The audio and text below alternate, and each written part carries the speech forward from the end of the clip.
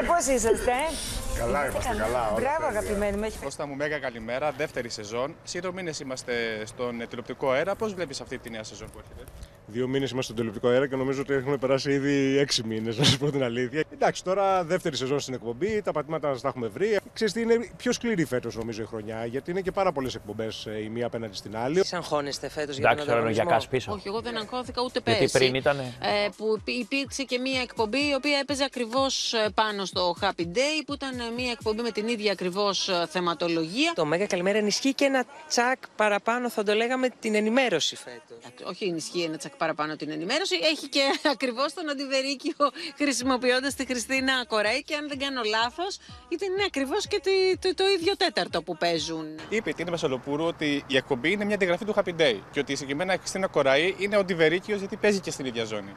Είπε έτσι τι ένα.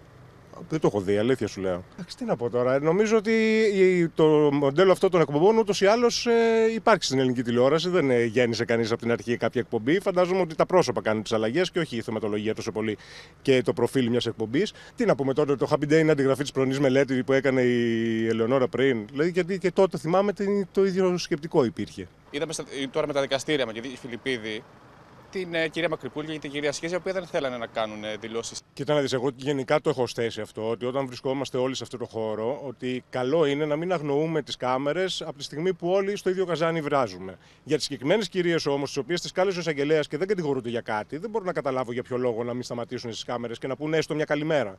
Εγώ αυτό λέω. Δεν, δεν θεωρώ ότι όλοι μπορούν να είναι διαθέσιμοι πάντα και να απαντούν στις ερωτήσεις, αλλά τουλάχιστον να μην αγνοείς τους ανθρώπους οι οποίοι είναι στο χώρο που άλλες φορές τους χρειάζεσαι και τους καλείς και άλλες φορές όταν τυχαίνει να πρέπει να μιλήσεις στις κάμερες τους αγνοείς. Έχει γίνει υπερβολή στη διαχείριση της πληροφορίας σε, αυτή- σε τέτοια ζητήματα και στη ιδιωτικά χρόνια και γενικότερα και στη και η Ρούλα Πεσπυρίγκου παλιότερα. Κοίτα, ο κόσμος πρέπει να καταλάβει ότι όλοι οι δημοσιογράφοι δεν είμαστε το ίδιο.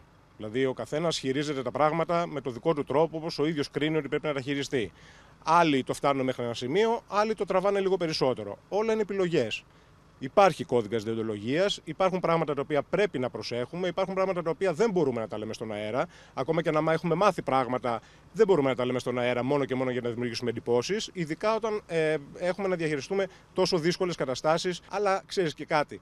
Νομίζω ότι και εκεί διαφέρει ο ένας από τον άλλον. Δηλαδή και εκεί ο κόσμος, ας πούμε, μπορεί να επιλέξει και να πει: Κοίταξε να δεις, κάποιος επιλέγει να κάνει τη δουλειά του έτσι, κάποιος επιλέγει να την κάνει αλλιώς. Δεν είμαστε όλοι το ίδιο. Πρόσφατα ε, παραβρεθήκαμε σε κάποιες δηλώσεις που ήταν και ο Ντάνος, ο, Γιώργος- ο Γιώργος Αγγελόπουλος, ο οποίος ενοχλείται όταν ρωτάμε για το survivor. Θεωρώ ότι ένας άνθρωπος ο οποίος έχει γίνει γνωστός από αυτό δεν, πρέ- δεν, δεν, δεν πρέπει. Δεν ποιο είμαι εγώ να πω τι πρέπει. Τέλος πάντων, εν πάση περιπτώσει, θα πρέπει να μην ενοχλείται όταν ρωτάνε γι' αυτό. Όσο εκεί. Από εκεί και πέρα και πάλι ο καθένας κάνει την επιλογή του και κρίνεται. Εσύ θα ήθελες να παρουσιάσεις κάτι δικό σου κάποια στιγμή στη τηλεόραση; Αν είναι να έρθει, θα να έρθει, αλλιώς θα προσπεράσει. Τι σ' αρέσει να βλέπεις στη τηλεόραση και τι δεν σ' αρέσει να βλέπεις; Μ' αρέσει να βλέπω το καλύτερα δεν γίνεται. είναι αλήθεια. Είναι η ένοχη απολαύσή μου. Δεν μπορώ όταν είμαι το Σαββατοκύριακο στην Αθήνα να μην σας δω. Πραγματικά. Χαίρομαι πάρα πολύ που σας βλέπω. Και γενικά βλέπω πάρα πολύ ειδήσεις. Βλέπω δελτία ειδήσεων πάρα πολύ. Και επιμένω, μ' αρέσει το ότι ο κόσμος έχει πολλές επιλογές. Ανεξάρτητα από τα νούμερα τηλεθέασης. Τα νούμερα τηλεθέασης δεν αφορούν τον κόσμο, αφορούν άλλους. Αυτό. Μ' αρέσει που έχει πολλές επιλογές. Γιατί είμαστε οι ένοχοι απόλαυσή σου και δεν είμαστε η αθώα σου απόλαυση; Απόλαυση, Yeah. ναι. Ένοχη γιατί; Αυτό. Τα φιλιά μας να στείλουμε καταρχάς στον Κωστή μας που είναι, ήταν, είναι και θα είναι για πάντα, ήταν συνεργάτης μας αλλά θα είναι για πάντα φίλος μας και το ξέρει αυτό. Τα είπε και υπέροχα όλα νομίζω. Δεν Τα είπε βρήκα πολύ ένα ωραία. σημείο που να διαφώνησα μαζί τους σε αυτό που είπε. Πραγματικά δεν βρήκα ένα σημείο. Ήταν to the point σε όλα. ισχύει. Ήτανε to the πάντα είναι to the point ο Κώστας γιατί Εγώ είναι θα δημοσιογράφος. συμφωνώ και εγώ σε όλα όσα είπε ο Κώστας.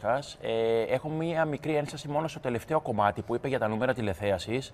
Επίσης θα πω ότι αυτό που είπε ότι κάθε δημοσιογράφος έχει τον τρόπο που χειρίζεται τα θέματα, θα πω ότι και ο παρουσιαστής μίας εκπομπής έχει τον τρόπο το δικό του και το στίγμα που αφήνει στο χειρισμό κάποιων θεμάτων. Βέβαια. Γιατί πολλές φορές ένας παρουσιαστής που μπορεί να χειριστεί μια κατάσταση κάπως λάθος μπορεί να παρασύρει και τους συνεργάτες του. Καλά, εντάξει. Με τα νούμερα Χάρη, γιατί τώρα, διαφωνείς Τώρα όμως. αυτό τις, τις τελευταίες ημέρες έχει γίνει, δεν υπάρχει ούτε καν δημοσιογραφική προσέγγιση, έχει γίνει ένα χιδαίο πράγμα το οποίο, το οποίο δεν εξυπηρετήσει καθόλου την ενημέρωση των πολιτών. Εμένα αυτή είναι η άποψή μου.